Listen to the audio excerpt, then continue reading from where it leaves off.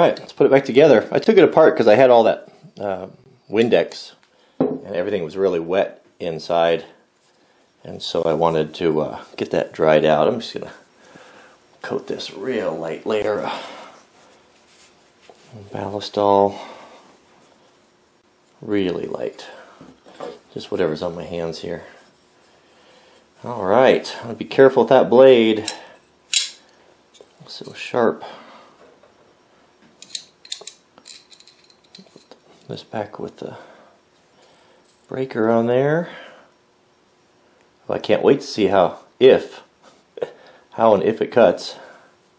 I think it will. So there's our, there's our 16th. That metal sure cleaned up nice, isn't it? Beautiful.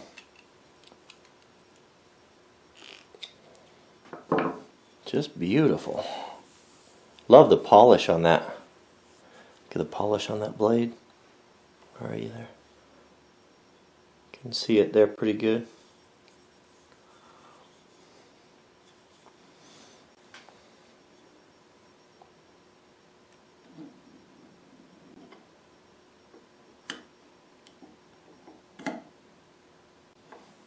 Careful, careful.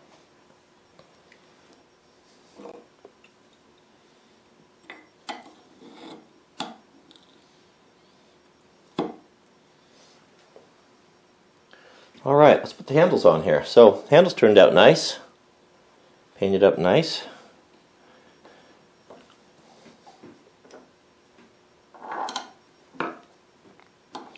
I'm glad I went with the black. That looks nice with the blue. Plus it's all an original color. That's a long bolt there, isn't it?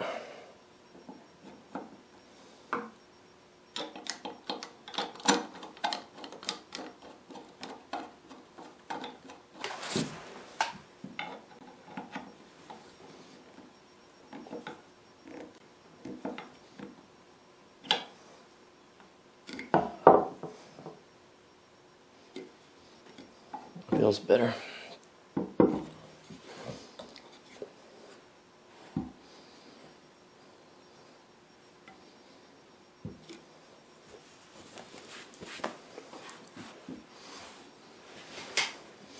Well, I didn't show you the how the metal turned out.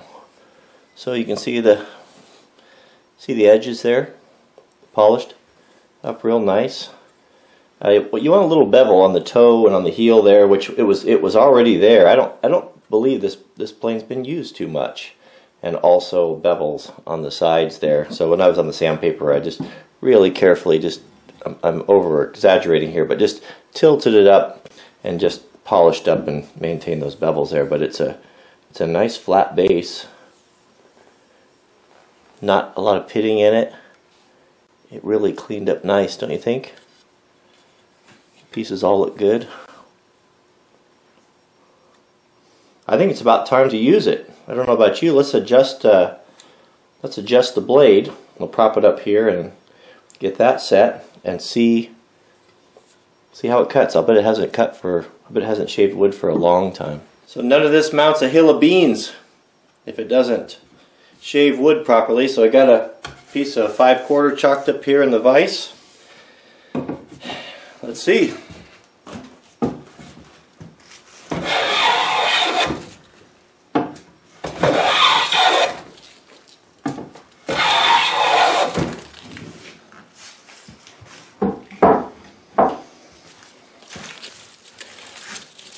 I'm not a cabinet maker,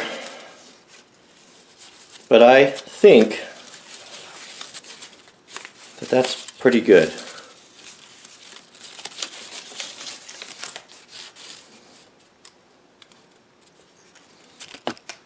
I'll do a I'll do a slow pass here, see if you can see the shavings come up.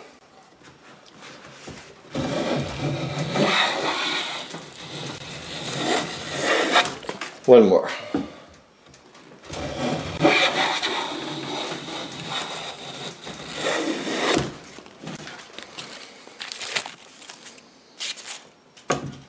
Beautiful. Just beautiful. Never used one before that uh, that cut like this. I didn't know they could. I couldn't be happier. Just couldn't be happier the way this performs. It's just uh, what a delight. How exciting.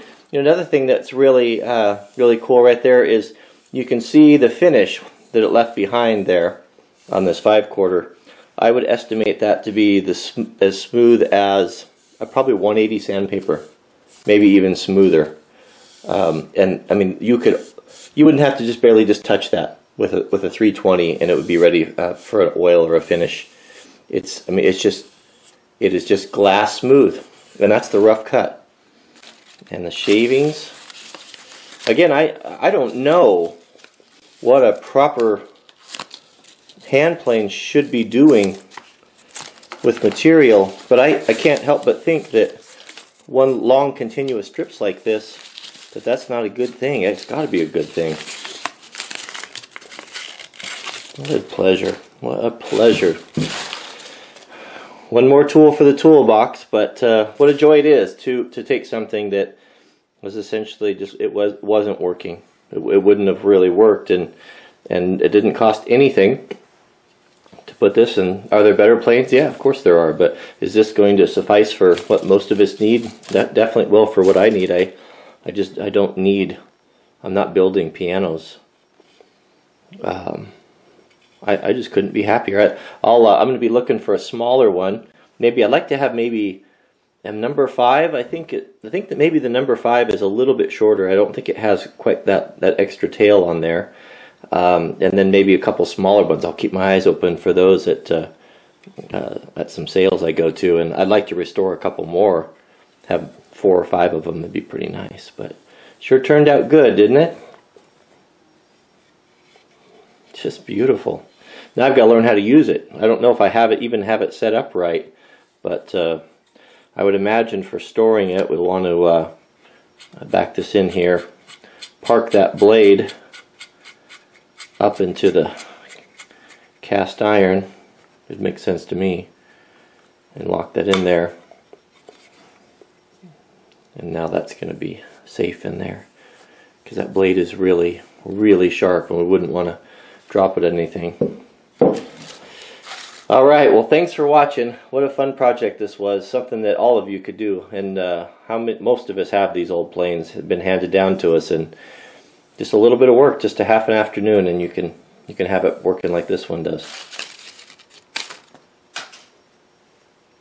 So in the meantime, I've got some fun videos for you. On the top left is the worst axe I've ever used. More of that coming soon. Top right is a test between the Fiskars splitting axe and a traditional splitting maul and how that came out. Bottom left uh, was uh, is an interesting video. It was a um, very good lesson to me um, about how easy it is to get taken away with the cares of this world and not able to listen to the still small voice of God. Uh, a very strong lesson given to me by my son.